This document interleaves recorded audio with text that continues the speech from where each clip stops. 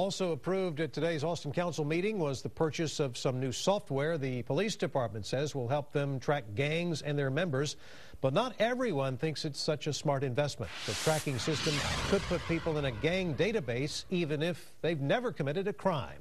KXAN's Chris Sadeghi explains why that's more information than some are willing to give up.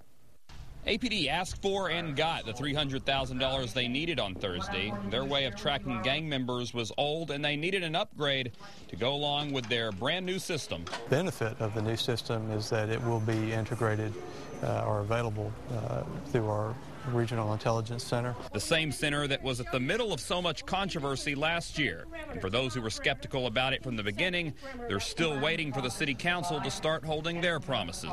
We're bringing in more and more software every day to add to this, and we still do not have adequate citizen oversight. John Bush with Texans for Accountable Government says the council still does not have a community advocate to help balance the power at the center, power that grew larger on Thursday with new gang tracking software, software that has set criteria for what deems a gang member. Document a gang member, gang initiation, or participating in a gang act. That gets you in the database. For example, Jonathan Contreras recently pled guilty for his part in a gang initiation last year that led to the death of an elderly woman. Under the database, anyone associated with Contreras in that incident or others will be listed no matter what their part in the crime. It leads us back. It's just connect the dots.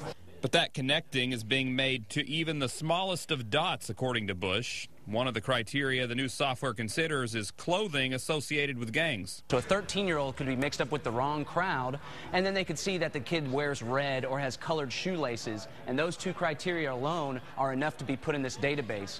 Chris Sadeghi, KXAN, Austin News.